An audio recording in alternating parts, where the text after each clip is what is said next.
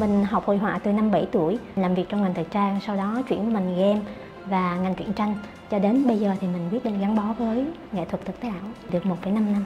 Khi mà mình đeo kính thực tế ảo mình sẽ bước vào được cái không gian đấy thì gọi là môi trường thực tế ảo.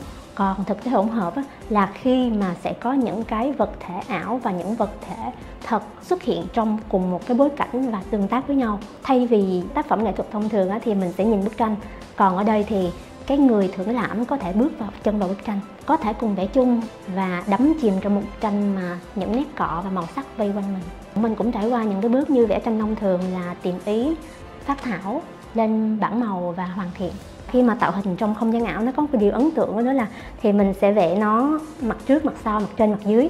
Mình có thể xoay, mình có thể phóng to, thu nhỏ. Cái cảm giác rất là trực quan và rất là ấn tượng sử dụng những thiết bị thực tế ảo mình có thể tạo ra được một cái studio trong không gian ảo. Mình không tốn không gian để chứa trữ, cũng không tốn quá nhiều chi phí cho nguyên vật liệu. Những cái phần cứng cơ bản mà mình cần phải sử dụng bao gồm là kính thực tế ảo và hai cái controller giống như là cọ và các công cụ cơ bản. Thì thông thường khi mà mình mở ra thì bên tay phải của mình sẽ là cọ và bên tay trái của mình là hộp công cụ ở đây là màn hình đã hiển thị những hình ảnh mà kiểm soát được cái toàn bộ khung hình camera để ghi hình mình trong quá trình mình vẽ tác phẩm.